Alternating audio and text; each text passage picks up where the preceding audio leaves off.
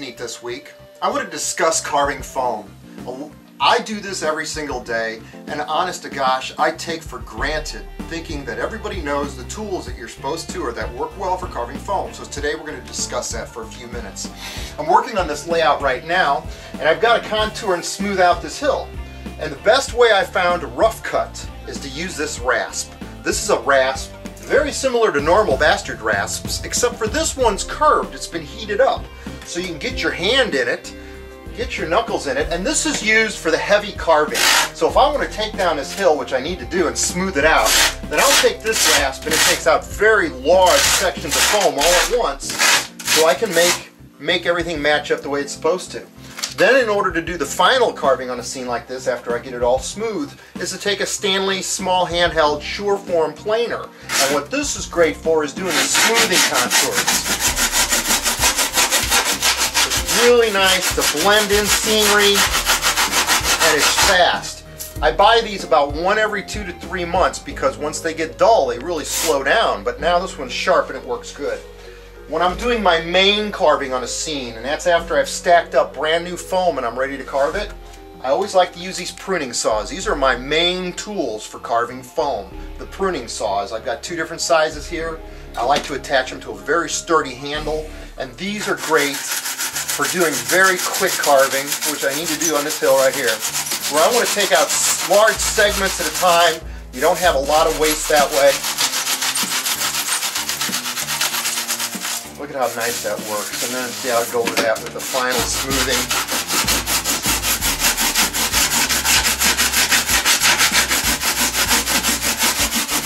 And then we can get the hills to blend together. Eventually this is just going to be one smooth hill with, with constant gradients throughout. Now I want to talk about some other tools that we use for carving foam. This is a wired, a hot wire cutter. I got these from Walthers. They sell them in a set of two so you get two different sizes, a 6 inch and a 12 inch. I don't really use them for carving scenery, but for doing really heavy carving on foam, these work good because they work very quickly, you get a lot of smoke, and it gives you a hard skin after you're done using it. So this is a useful tool in the event that you want to cut foam and you don't want to use the jigsaw. I still really like the jigsaw the best because it, it works for me. But you can get really creative with something like this and do some major fast cutting. Okay, that's one type of hot wire cutter. There's another cutter that I really like.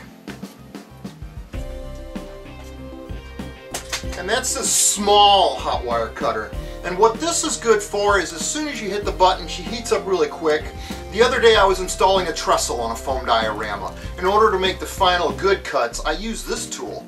It's a lot slower, it's a lot uh, but it's very precise. So it allows me to get in and make the cuts, for example, when I was putting in the trestle, and it, it works really good for that.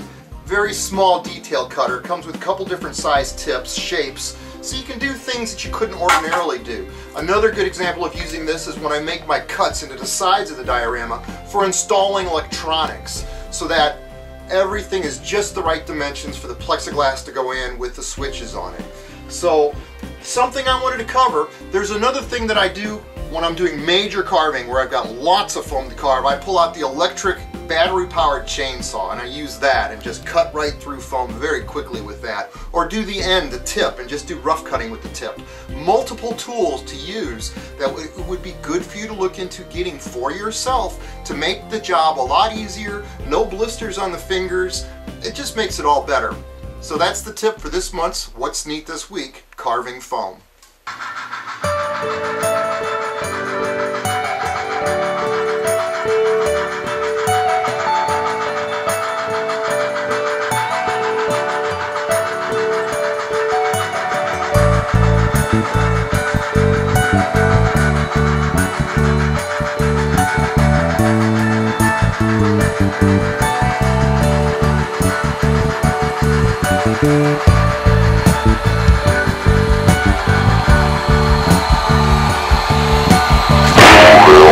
Wow.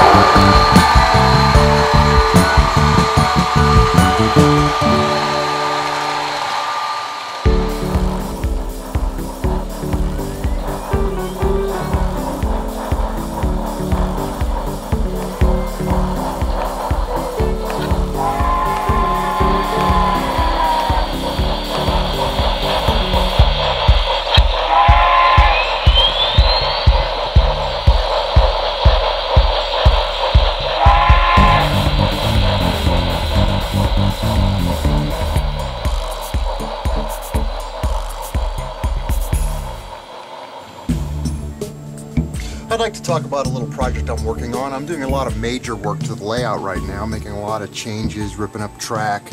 And there's a project that I've got to do where I've got to have the railroad go up a grade. And I'm putting it up a grade on the wall. And if you'll remember in the old days, just 15 to 20 years ago, we would use a level and we'd take the longest level we could find and we run it up the wall and draw our straight lines the best we could. And what I'm using now, as you can see on the wall, is a red laser. And I've got it set up right now at just under a 1% grade so I can raise some narrow gauge track up over the top of my switch yard over here. And what's interesting about this is the fact that with this straight laser, and this is not a very expensive tool. I think I picked this up from Sears a few years back. Uh, and I, I, can't, I, I want to say it was 50 bucks, maybe $75. It wasn't very much money. And these things are worth their weight in gold just for drawing the straight lines of our bench work along the walls. If you want a perfectly level bench work, it's so much better than using a level but because by the time you go down a 30 foot wall, it always seems like you're off at least a quarter of an inch. But with this laser tool, I've got my grade drawn. All I've got to do is follow the line with a magic marker and start attaching wood to the walls and I'm in business. So check out lasers if you haven't done that already. They're magnificent tools for us model railroaders for doing our bench work.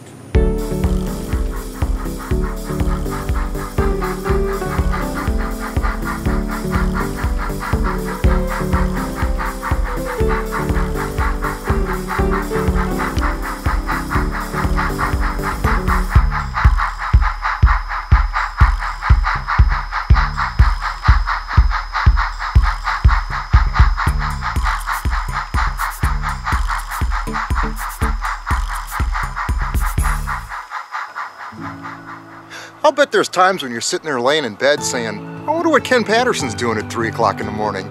Well, let me show you something kind of cool I'm working on tonight. I've got a diorama set up outside. And what I'm doing, I'm sitting here working on a photograph in total darkness. I've only got the outside lights on just so I can film this segment of what's neat. But what I'm doing is I've got a flashlight here and I've wrapped masking tape around it. And I'm recreating a photograph for Soundtraxx that demonstrates Rule 17. Rule 17 is where the prototype railroads have to dim their headlights when the locomotive's sitting in a siding and or a main line train's coming at the locomotive and they have the tendency to be able to dim the headlights. And you can easily perform this function by pushing F7 on your throttle to in fact dim the headlights on your locomotive as per Rule 17. So I'm doing a photograph tonight to try to illustrate and demonstrate how this works. And also one other tip is you push F5 to turn off the ditch lights because you don't want to blind the other locomotive that's coming at you. So what I've got here is I've set up a scene outside where I've got the Union Pacific locomotive coming right at, sitting on the siding as the Amtrak train is running past. And I took this flashlight with the tape wrapped around the lens like this, and I was able to just direct the headlight of the Amtrak train using this flashlight wrapped in tape so that I could create the effect of the headlight of the Amtrak train being, you know, lit up, brightened up again, and at the same time, the UP train is sitting here with its headlight dimmed. So, just kind of a neat thing, and here's how that photograph came out. I've actually shot a couple different takes, and this is the one that looks the best. But just in case you ever ask, I wonder what Ken's doing at 3 o'clock in the morning. This is kind of what's going on. I'm creating good segments just so you can watch during the daytime. So that's that segment. This is all I wanted to discuss on how to do Rule 17.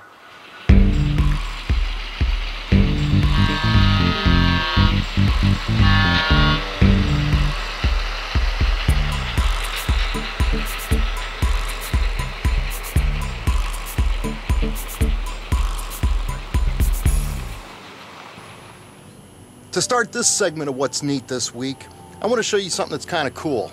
At least it's kind of neat to me. As a lot of you folks know, I modeled where I live. I built a model railroad diorama of my property and where I live here on the bluff of the Mississippi River. And this is a diorama that I've recently torn down because I've torn down a great section of my layout. But this is in fact the area where I modeled. This is where I live. I've got about, I want to say 12 feet modeled here in HO scale. The bluff is about 150 feet high. It's 450 down in the bottom plane and it's about 652 right at the top of my neighbor's home on his bluff. You can see that I've modeled my piece of property here. And I relied really heavily on GPS and laser meters to be able to get all the dimensions. And I also relied on Google Earth and plotted this out all on foam and then simply carved it out of the foam worked the topography, copied the prototype pictures very exact. I had an attorney take me up in a uh, helicopter once for one of my courtroom models, and so he flew me past my property, and that allowed me to see what it looked like from up in the air. But this is a real accurate description of what it's like to model as what we call one-to-one in HO scale, where I'm actually modeling it exactly the way it really is, as closely as I could. And so this is what it looks like outside. Now that I've torn it all down, I'm gonna section out my home, keep that section, and then put the rest up in the garage and just use it for various photo shoots as time permits. But I just wanted to share this with you. This is a portion of my layout that I've recently taken out, and I was really proud of it when I built it, but it takes up so much room on the insides that I'm really happy to have the open shop space now to either build some narrow gauge or to just have enough room to work on two or three projects at the same time. But this is what I wanted to share with this section of What's Neat This Week, the bluff that I built along the Mississippi River.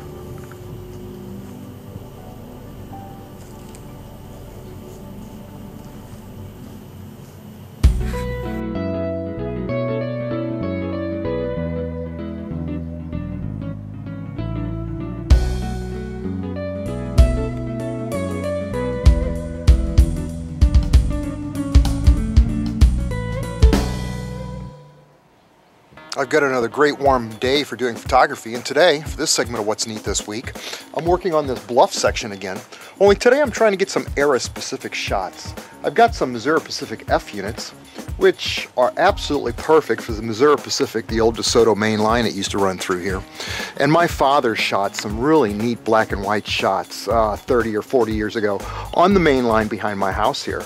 And so I'm just trying to recreate sort of that effect of those photographs today on this diorama. And so far, I'm, I'm really liking the results. I'll uh, show you this uh, shot that I've got coming up here. But what I really want to talk about today, and I've been requested this uh, in the viewer email in the uh, comments section of our video, and that is, how do you specifically use the Helicon Focus? And that's a program that I picked up out of the Ukraine, out of Russia on the internet, and you can subscribe to it uh, yearly or you can buy a lifetime uh, usage uh, license in order to use it.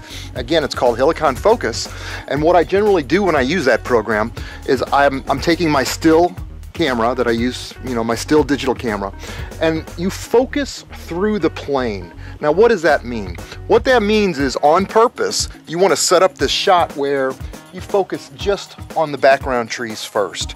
Or if you got a great day with clouds and you want those clouds, you focus on the background clouds first. But what you do is by focusing backwards, and that's how the program works, is you've got to start from back here and focus your way forward. So you'll take a picture of the trees focused here. Then you'll move in another foot or two and focus the point of the bluff and then you'll move in a little further and so on and so forth until you get about six good shots or seven good shots focusing through the whole plane of the shot. So let me walk you through that process. I'll shoot a photograph right now of these units. We'll look at how that came out and then we'll go inside on the computer and we'll we'll enter the uh, photographs into the computer and I'll show you how, how the, everything gets sandwiched together and becomes a completely totally in focus photograph. It's as if you used a pinhole lens, only everything is sharp. You don't get that fuzziness that you, we used to get from those old pinhole lenses that we used to make. So let's go on and I'll show you how this works. Now first I'm going to walk through this photograph and take you through the process real time of actually shooting it. I've done this a number of times on our video in the past, but I've only explained it with a little bit of text. So let me put the camera into position and let me go over here and get this shot.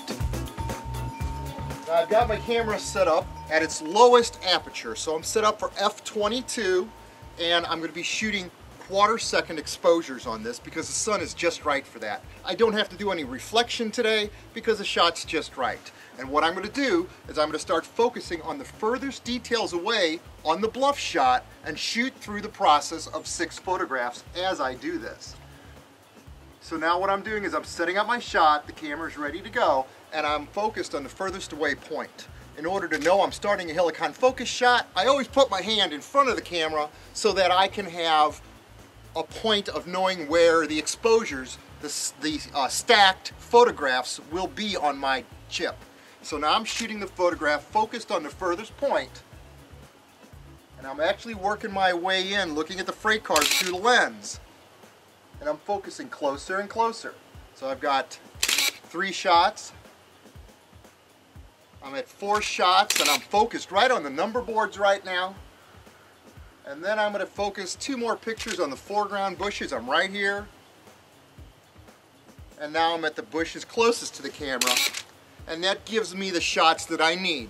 So what we're going to do now is we're going to go inside, feed these into the computer, and I'll show you how quick this, this process goes. It's very simple and very fast. Okay, I've come inside now and I've loaded the uh, chip from the camera into the computer. And what I want to do is I want to open up the Helicon Focus. It's called Helicon Focus 6 here on my screen. The program opens up and it asks me what file would I like to choose. I want to go to Open Images here. And I'm looking for, there they are, my Missouri Pacific shots we just shot. I'm going to pick one, two, three, four, five, six, seven images. I'm going to open them. Now here's what the shot looks like blurred. Uh, what I'm saying is this is what the shot looks like where it's out of focus. And it's not a very good shot as you can see from this image on the screen right now. Now what I want to do is I want to simply have, I've got all these files uploaded into the system. I want to hit the little green button up here called render. And now what it's doing is it's taking all the images, it's sandwiching them together right before your eyes. And then here's our winning shot right here. It looks really good if you look through the whole thing. This shot came out absolutely in focus and it looks era correct for the location. And every bush from the foreground to the background and all the little details are in focus as if we used a pinhole lens. So that's essentially how you use Helicon Focus. Pretty straightforward, pretty simple, but it's magic when it comes to improving the quality of your photographs. It's just an absolutely wonderful tool. So if, if you're looking for something like this, this is what I would suggest.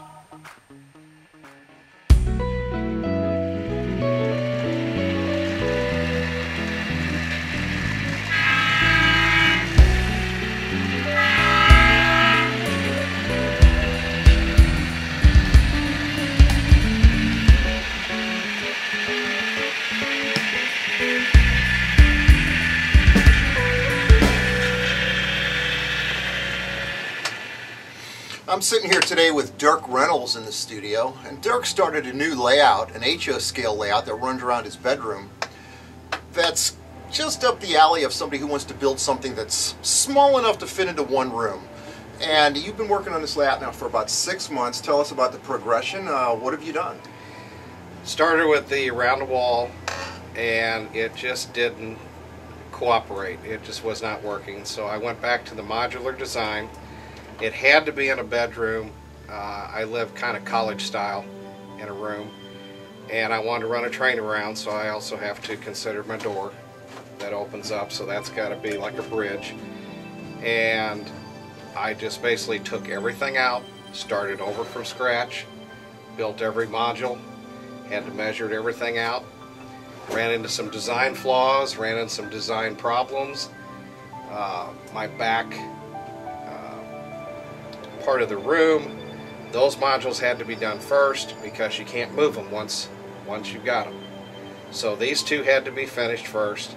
Uh, I got my dad to help me putting up some uh, Walther's background scenes on wood, put that on the wall. But what I had to do in this whole thing was that I can't put something on the wall. So whatever I have has to be put on something and then that has to be put on the wall. And I have to keep holes and things of that nature small because, well, we do have to sell the house later on. You know, this almost sounds like a What's Neat This Week field trip. Let's go take a look at what Dirk's building in his bedroom size layout.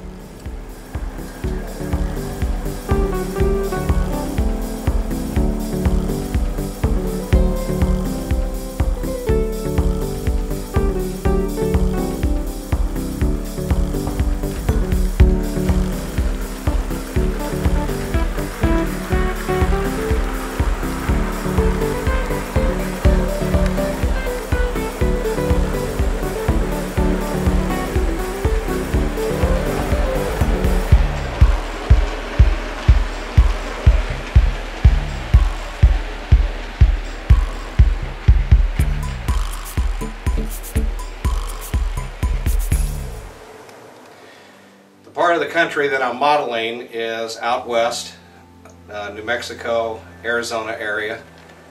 I'm looking for the desert scene. I'm looking to go into a little mountainous region, but I don't want giant mountains. I just want calm hills. The bridge scene is modeled after a area in, say, New Mexico, uh, where you would see a bridge that goes over a dry riverbed. The Micro Engineering girders were used. We also have the Walthers Bridge track, which had to be done in two sections. The bridge piers themselves are actually made from knock. Uh, they are made out of paper. The scratch-built wood around the outside is a protective uh, piece, so in case when the water does rise, it's going to bring down a lot of debris, and that will protect the piers from getting hit. The Micro Engineering bridges also have the Micro Engineering uh, bridge feet applied to them. I have a lift out section in order to gain access to my room. I have door hinges underneath on both sides. I don't have to use my pins because this is a very tight fit. All you got to do, put a hand underneath, lift straight up, and it comes right out. I build the layout, and I built this one as I do the others, as a learning curve to learn the hobby and learn the craft. Uh, I'm wanting to get to the prototype, prototypical stage of it, but I can use this also to test equipment as I'm learning the Digitrax system. I now have that incorporated also. So this is just my, this is my learning area. Well, Dirk, this is a pretty nice layout. It's just the right size for your room and for testing your equipment. So thank you very much for allowing us to intrude and sharing this with us. Thank you for coming over and let me show it.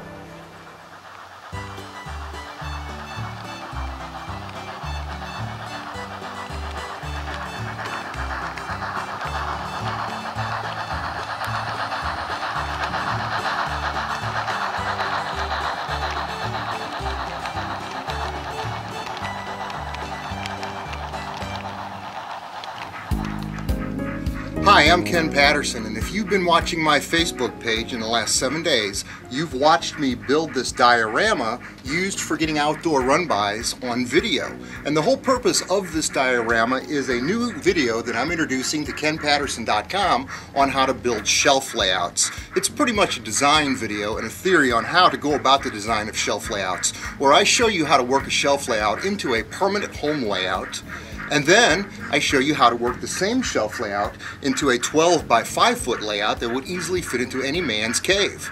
In this video, we cover all subjects of construction, which can be used in any scale, but we do it in HO scale, and I happen to be using narrow gauge trains for this video, where we cover the topic of building the diorama itself, laying the track on the diorama. We then go into the wiring, the wood finish on the sides. We cover the construction of four different types of structures, three laser kits. We do a train station. Then I do show the construction of a freight depot, and then I also show the construction of an engine house. We also cover building a turntable, an operating turntable that you operate by hand, but it's fully powered so the trains can go on and off of it. So in this video, there's a lot of subject matter, that's great for the modeler. Scenery, fake fur, all the subjects that are necessary to build a really nice railroad layout are covered in this video. So check it out at kenpatterson.com. The new shelf layout video is now available for download.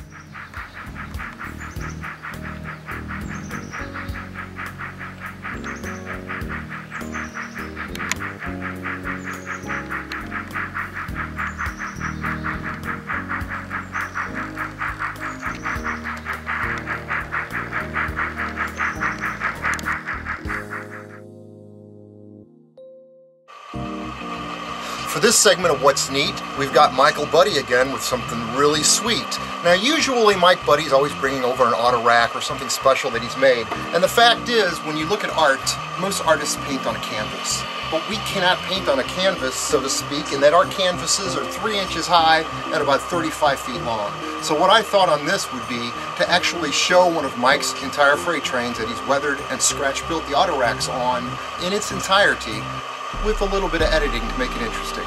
So with that, let's introduce Mike Budde. And Mike, kind of tell us about your train that we're about to see and what you've done to this model. Alright, well, yeah, this is a model of a a dedicated auto parts train like the Ford Fast that uh, ran through Missouri from Kansas City into, into uh, Colorado. It's all uh, this this represents a train going back to the factory with uh, box cars full of auto parts, uh, flat frames full of uh, auto frames, and empty auto racks to be loaded up with new vehicles. So there's no full loaded auto racks on here. It's all parts cars full of uh, parts and empty auto racks. So that's it. Mike, this is a pretty impressive model, man. We really appreciate the fact that you shared this with us. So now let's enjoy that gorgeous run by.